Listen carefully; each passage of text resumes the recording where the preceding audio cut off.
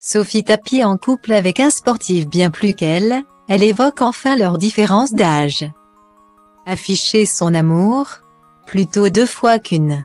Depuis qu'elle est officiellement séparée de son mari. Jean-Mathieu Marinetti, qu'elle avait épousé au mois d'août 2020 après cinq ans d'amour. Sophie Tapie craque pour un autre homme. Un sportif bien connu des férus de rugby puisqu'il s'agit du jeune Baptiste Germain qui évolue en tant que demi de mêlée au stade toulousain. Le 21 novembre 2022. Justement, est un jour important pour le couple, comme on a pu le voir sur les réseaux sociaux. Le sportif célèbre son anniversaire, ce lundi, lui qui est né à l'an 2000 soit 12 ans après sa chérie. Pas étonnant qu'ils passent la journée ensemble. Sophie Tapie et Baptiste Germain ne se quittent plus depuis des semaines.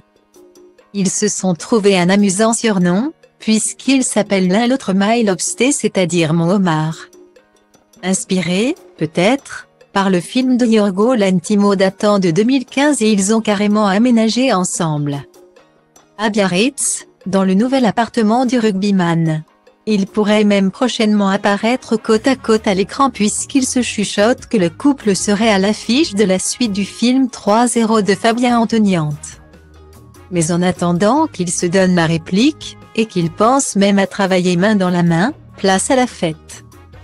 Sur son compte Instagram, Sophie Tapie a tenu à déclarer sa flamme à Baptiste Germain en cette journée si spéciale. Pour le jeune homme né sous le signe du scorpion.